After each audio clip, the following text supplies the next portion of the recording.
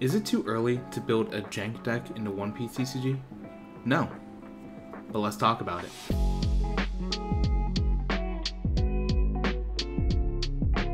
What's up, Captains? Welcome back to The Other Decks. My name is Casual Adobo, and today we're going to be taking a look at a deck I'm calling Self-Destruct Kaido. The whole concept is to utilize some of those on KO abilities that we have in our purple and blue cards, and try and utilize uh, our 10 cost board wipe Kaido to blow them up.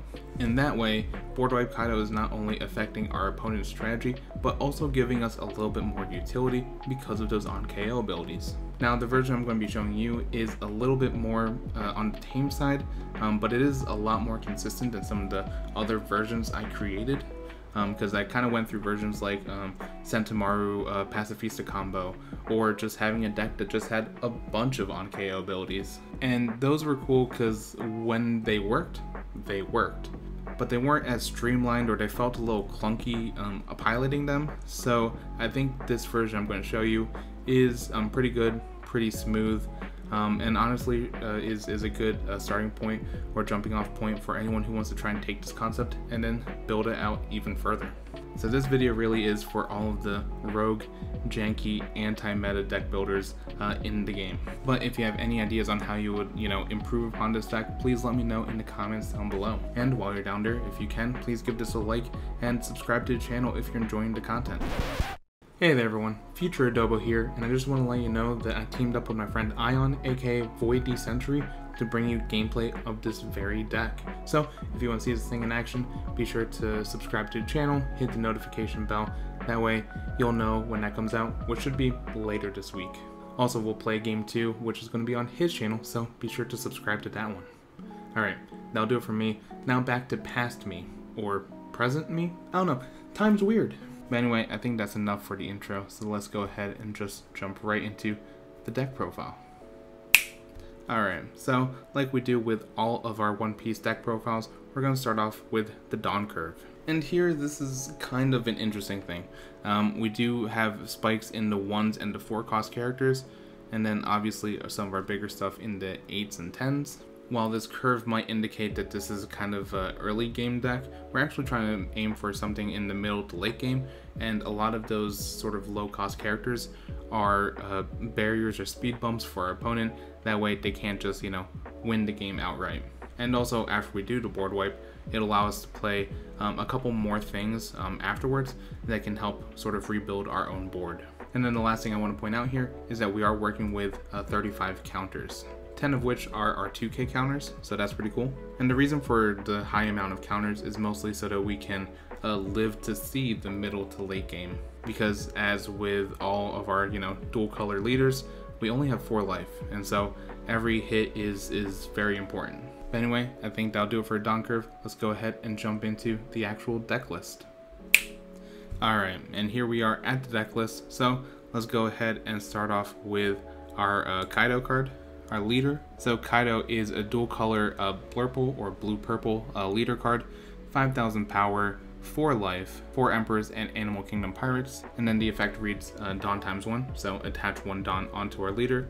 Uh, during your turn, once per turn, when one of your opponent's characters is KO'd, you can add 1 Don from your Don deck and set it as active. So this is a pretty cool way to ramp ourselves throughout the game. Next up, we do have four copies of Trafalgar Law. So this is just our chump blocker, uh, one cost to play, 1000 power blocker. Next up, we have two copies of Smiley. So for context, this is actually one of the big inspiration points to building the self-destruct deck because, and I'll just jump over real quick, if you look at Caesar Clown, 4 cost to play, 5000 power, on KO, play one Smiley card from your deck, then shuffle your deck. So this gives us the extra added benefit of having another character available after our Kaido, um, you know, wipes the board. So yeah, Kaido wipes the board if we have Caesar Clown on the field. Um, it'll get KO'd, then we bring a Smiley from our deck, shuffle our deck, but that means at the bare minimum, we have two characters available. Now, neither of them can attack, which, you know, could be a problem depending on what you're facing, but they are available to potentially attack next turn. Now, admittingly, I came up with this idea um, before Smiley was revealed, and honestly, I wish Smiley was just a little bit better, but for a free card from, you know, the deck, can't really ask for more unless you're a pacifista. But Smiley is 3 cost to play, 1000 power, does have counter 1k, and then Don times 1, so immediately 2k, right? But Don times 1, on your turn, this character gains plus 1000 power for each card in your hand. So if you had 5 cards in hand, um, that would be 5 plus 1 plus 1, 7000 power for a free character. Honestly, not too bad. Keep in mind this only happens on your turn, so on your opponent's turn, this is just a 1000 power um, character, uh, so that could be um, problematic in, in different ways. And we only have two copies of it, mostly because we want to, you know, activate it with the Caesar Clown ability and not have it in hand or in life. Next up, we do have three copies of Perona. So one cost to play, 2000 power, counter 1k, um, but on playability. Look at the top five of your deck and then rearrange them in any order then return them to the top or the bottom of the deck. Essentially, this is scrying, right? And the main thing we're scrying for is our board wipe Kaido. So if we don't see Kaido in that top 5, then just bottom deck it. Very similarly, we do have three copies of Don Quixote Doflamingo. Uh, I chose the weird art one for reasons because it haunts my nightmares, and it should haunt yours too. 3 cost to play, 4000 power, 1k counter, but this one is a blocker, and then on play has a very similar effect to Perona. Look at the top five and then either put it at the bottom or the top of your deck. In any order, might I add. so once again, you're really looking for the Kaido. If you have the Kaido in hand, then you might be looking for some of those on KO um, characters. But being able to scry our top five and then also um, have a blocker makes Doflamingo, Dofi, a pretty solid card. Next up, we do have two copies of Sasaki. So just three costs to play, 4,000 power, but it's a counter 2k, which is primarily why we have him in here. And then Don times 1, when attacking, you can trash a card from your hand, add one Don card from your Don deck, and rest it. So like I said, we're primarily using him for his 2k counter, but if we do need to put him on the board and um, attack, he does have some good ramp ability, which is especially useful after the board wipe. So Sasaki has some extra utility in that case, but he's mostly there for the counter. Next up, we do have two copies of Miss Doublefinger, aka Zala, um, so 3 costs to play, 4,000 power, so pretty close to being a natural attacker, just needs 1 extra Don. Um, counter 1k, but on KO, draw a card. So this is cool because uh, she is very close to being a natural attacker, so if we just attach one Don, um, we can swing into our opponent's leader, and then if our opponent gets tired of uh, Miss Doublefinger enough, they might KO her, and then we just get a free draw. But the strategy that we're really going for is having Miss Doublefinger out there not our opponent not really like paying attention to her, and then we do the board wipe Kaido, and then we get some draw cards out of it. Then we slap down the board wipe Kaido, and then we get a free draw because we will KO her as well. Now, the other thing I was thinking about was um, putting in uh, Holdem, uh, who says on KO, um, put a Don card from your deck onto the cost area rested. So a little bit of extra ramp, but I think I like the ability to have more cards in hand that way we can protect ourselves a lot more. But let me know which on KO character you would replace uh, for her if you wanted to swap her out. Alright, next up we do have three copies of Caesar Clown. So we kind of talked about him already.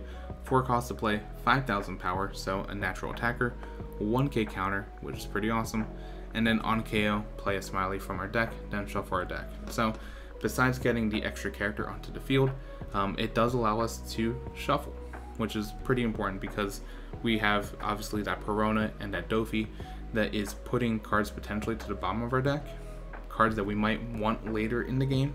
So if we're able to shuffle our deck, we have potential for those to um, rise back up to the top or at least become a higher percentage of us seeing it again. Next up, we do have four copies of Boa Hancock. So four cost to play, 5,000 power, counter 1k, so has the trinity that we're looking for.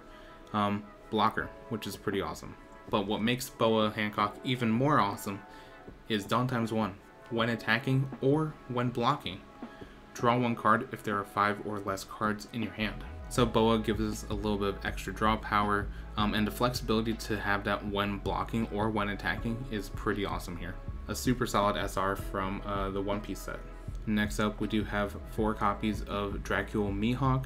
So four cost to play, 5,000 power, but 2k counter, which is primarily why we have him at 4k here, um, but also has an incredible ability. Don times 1 when attacking, uh, draw two cards, then discard two cards. So while this isn't, you know, pure card draw, it's, you know, card cycling, um, card refreshing, right? It's refreshing our hand so that we're trying to find the cards that we want to see, aka our board wipe, while also discarding some of the things that we don't quite need uh, right now. So yeah, of all the 2k counters, this is the one that is most likely to see the field. Or we could go to our other 2k counter of X-Drake. So, 5 costs to play, so a little bit more expensive, but 5000 power, natural attacker, and then a 2k counter, pretty awesome, but has a pretty interesting ability. On play, Don minus 1, your card trashes one card from their hand. And if you've played any One Piece already, you know just how valuable having cards in hand is, especially from a defensive standpoint, because it gives you a lot more options um, for, for counters, for events, right? So forcing your opponent to make a hard decision and trash one of those things, especially if they already have a low hand count, um, that could be an incredibly powerful ability. So X-Drake is pretty solid. And then rounding out the rest of our characters are our high ends. So we have two copies of Douglas Bullet. So 8 cost to play, 10,000 power, activate main once per turn, Don minus 4. So return 4 cards from uh, your field uh, back to the Don deck, but rest up to 2 of your opponent's cost 6 or lower characters, then this character gains double attack for the turn. If you've seen any of the, um, the videos where I've talked about the film cards, you know just how much I love Douglas Bullet. He's 10,000 power, so he is a natural uh, threat to honestly one of the most powerful and probably annoying cards in the One Piece set uh, for the first set, uh, which is the uh, super rare uh, Kid character card, the one that makes the rest of the board uh, impervious. but Bullet can naturally deal with him, you know, as long as the opponent doesn't counter, right? but has 10,000 power, so very strong, and has flexibility, which as a deck builder and as a player, I love to see, because unlike Board Wipe Kaido, that ability is not an on-play ability, right? So I don't immediately lose 4 Don from it. I can choose when to utilize that Don for, you know, the right scenario. And then prior to that, I can just use it to swing into my opponent's characters, or just save it for Kid. And then when the time is right, Don minus 4, go in for that double attack. 10k is very hard to overcome. So yeah, just great flexibility when it comes to Douglas Bullet. But the high costed purple card we want to see most likely is our board wipe Kaido. So this is 10 cost to play, 12,000 power, so an absolute beast. Um, on play, Don minus 6. If your leader has the Animal Kingdom Pirates trait, KO all other characters except for this one. So yeah, obviously this is really good against um, most opponents, right? The only one I'd be a little bit afraid of is a, a rush deck, right? Because they can just rush on next turn. Uh, so make sure that you have a healthy amount of life, um, ideally, when you do this. And then yeah, ideally, the things we have on the board are our Miss Doublefinger, our Caesar Clown. That way we can have some of the extra utility that happens when they get KO'd. And 12,000 power just is a, a, huge threat to our opponent. They essentially have to find a way to deal with it. And honestly, at 10 cost, 12,000 power, there's not a whole lot of ways to deal with it. At least without having to do some weird wonky combo like um, round table uh, Robin, right? Could do it. You'd need like three Otamas and a jet pistol. so yeah, Kaido is hard to deal with. Only downside is he doesn't have rush, so you board wipe the whole thing, but you can't attack during that turn, except for, you know, with your leader. So that does it for our character cards. Let's go into our event cards, and we are pretty event heavy here, just because we want to have that sort of survivability. So first up, we do have three copies of Desert Spada. So one cost to play, which is pretty nice. Then uh, counter ability, your leader or one of your characters gains plus 2000 power for a turn. Then you can look at the top three cards of your deck and then return them to the top or bottom of the deck in any order. So yeah, similar to Perona or Dofi, this allows us to look at the top of our cards and then choose where to put them at the top or bottom, looking for our Kaido. And then also has a pretty solid trigger ability in Draw 2 Trash 1, um, which allows us to gain one card and then cycle our hand a little bit. So pretty solid. Next up, we do have two copies of Thunder Bagua. So two costs to play, but it's a counter. Uh, your leader get, or character gets uh, plus 4,000 for a turn. Then, if you have two or less life, add one Don to, from your Don deck and rest it. So, adds a little bit more ramp. Um, and then, speaking of ramp, its trigger ability add one Don card from your Don deck instead of it's active, which is pretty nice. Next up, three copies of Love Love Beam. So, two costs to play, uh, counter. Your leader or one of your characters gains plus 4000 power for the battle, and then if you have three or less characters in hand, draw one. Also, for any time I said for the turn instead for the battle, uh, in other in the other two event cards, uh, it's supposed to be for the battle. So that's my bad. But this is cool because if you have a pretty low uh, hand size, uh, this does give you a little bit of draw ability, and it's a pretty solid counter. Next up, we do have two copies of Elephant's Marchoo. So, four cost to play, so kind of on the expensive side, but KO one of your opponent's characters with a cost of two or less, which is primarily aiming at those low cost blockers that many people like to play. And then add one Don card from your Don deck and set it as active. So it's single target removal plus ramp, so pretty solid.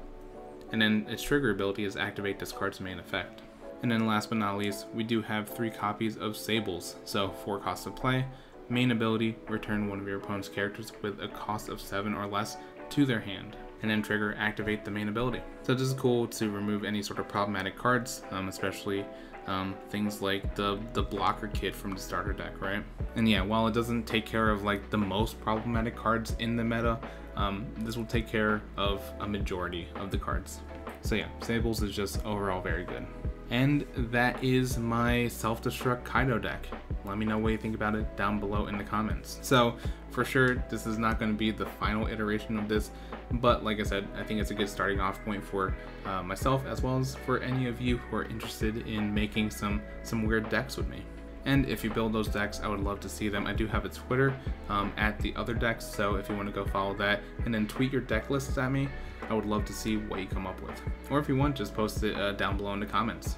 And while you're down there, if you enjoyed the video, uh, please consider giving it a like and uh, subscribe to the channel. This allows me to know what y'all are interested in. But anyway, I think that'll do it for me. So captains, remember, build what you like, play what you love. And I'll catch you in the next video. Have a good one.